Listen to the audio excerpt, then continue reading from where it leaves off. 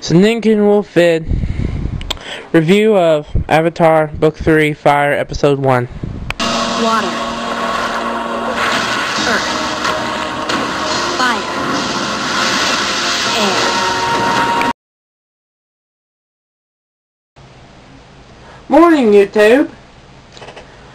Now, sorry I'm getting this video in late, but it's been a I was sleeping last night, so I didn't have enough time to make it. Uh, I saw the episode last night. I didn't need my DVR at all because I, I stayed I stayed tuned to watch it like I usually do. but it's interesting. Pretty much, it's like the commer- some part of the commercial, but it's only one episode. So, yeah. And like I said, I'm not doing all ten episodes. They're saying review. I'm going to do this, and then when the season is over, hopefully I'll see the whole thing. I'll do my review on that.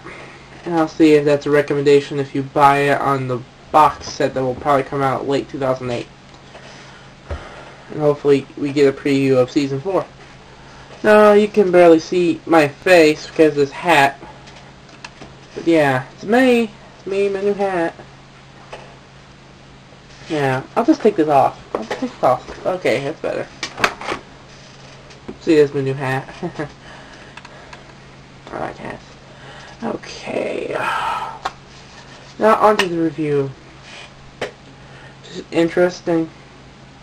Turns out that is Aang's hair, and I just remembered there was an episode that was kind of nobody really didn't watch it.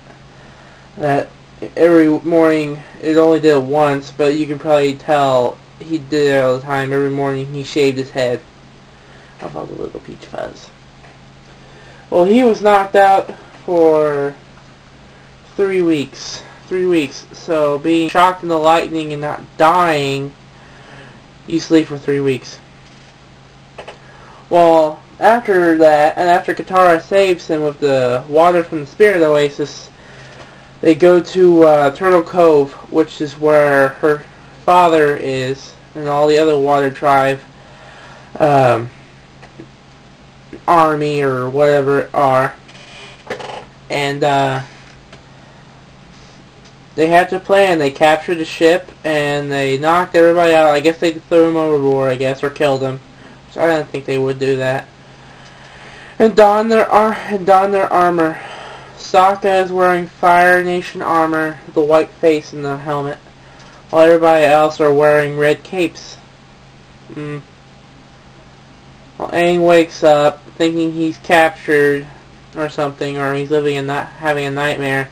He knocks out every armor guy he fights, but it turns out the guys he does knock out are actually I forgot their names. I know one's Pipsqueak from the Freedom Fighters, and a little short guy.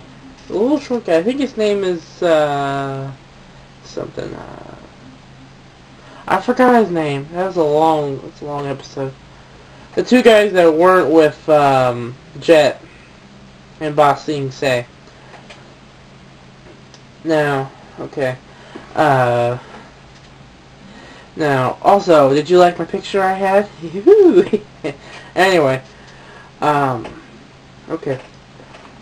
Sorry if I say okay a lot. I'm just thinking in my head. I don't have a script. Now, what I think of the episode.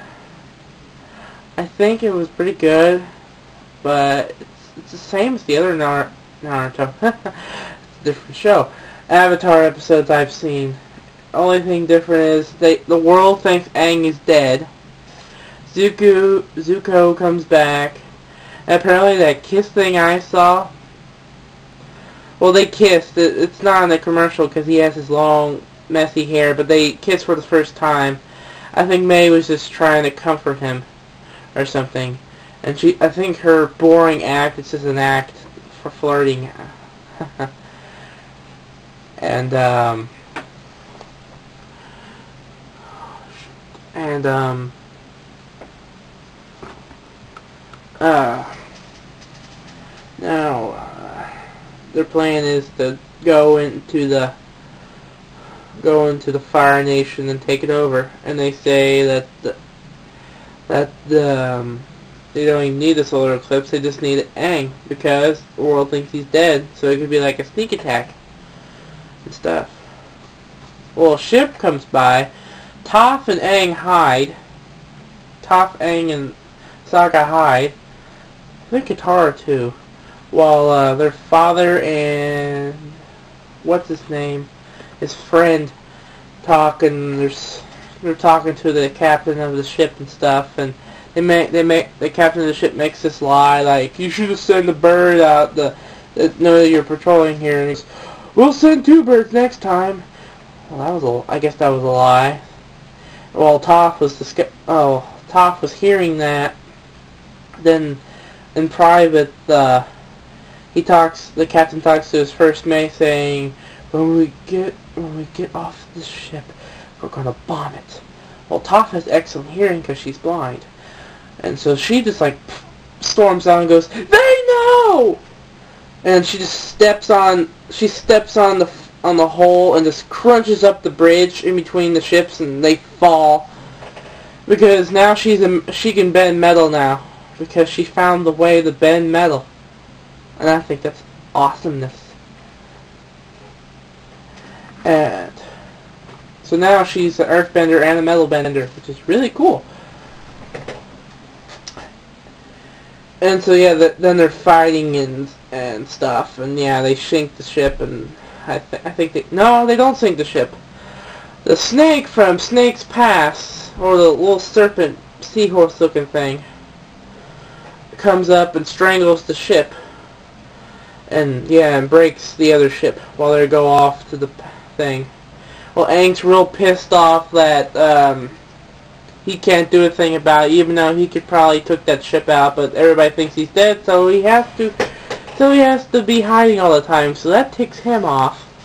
And then they they're getting ready to go into town when they dock in the port and he goes, Here, wear this headband to block your arrow. Like, if I can't wear my arrow, what's the point of going out there or something like that? So he just like throws a fit and and all sorts of other stuff. And then he falls asleep, and Katara has this big fight with her father because her father left her four years ago, right after their mom died, which I think is bull. So, and they and then she cries and stuff, and yeah, and Aang gets up and leaves. Leaves. He's trying to go to the Fire Nation. He's on his glider, and it starts to storm, and then he gets shot down kind of by the storm and uh, yeah, something like that. And he's on a log and he's like parasailing with his glider. Well, then he loses his glider in, in the waves and he's like floating on a log and he says, I failed him again.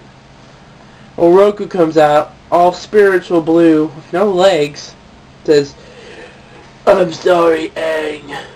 This was my war. You should not have been brought into it. I should have stopped the war before it began. Da, da, da, da, da, But I believe it's your duty to redeem me. Redeem you? What the hell? Jeez. Gosh. My people are dead. My people are dead without, without deadness, deadness. anyway. That's basically the episode. He war, he, uh, then Suki, no, wrong, wrong chick. Then Princess Yue, which, if you watch not uh, Avatar, became the new moon spirit. When she says, not to give up, and she's all glowing and stuff. Then she raises the waves using the moon's gravity, while Aang uses water bending, and they get to the island. He get to this volcanic island, which I think is probably brand new because it looks brand new and stuff. And I'm running out of time. And uh, yeah, now, uh, yeah, and then they find him and they're like all huggy and stuff. Then the glider comes up on the shore. It's all wrecked, which sucks because I like this glider. He goes, no, I'm not going to fix it. I'll, if people would see me, they would, it's, it's my image. And that would pose a danger. So he just like goes up to the rock face. It's got lava pouring out of it. And uh, he just whoo, stabs the ground. And it's like like it's like a grave or something. It, that's what I think it looks like. And then it starts to get on fire because it's in lava. and it just burns up, and that's it. And then the preview I saw, apparently he goes to school and stuff. Oh, and another thing, they also revealed Emperor Ozai, or Fire Lord Ozai's face. He doesn't look a thing like Zuko. He looks more like his, Zuko looks more like his mother, and Azula looks more like his father, her father. But it's really cool, you get to see Ozai, and it's not just like a shadow, like this, like, Bleh! Well, I'm past the 10 minute mark, so I don't think this will upload, so I'll probably redo this, so I liked it, uh, that's all we can, that's all I can do, so I don't know what other video I'll get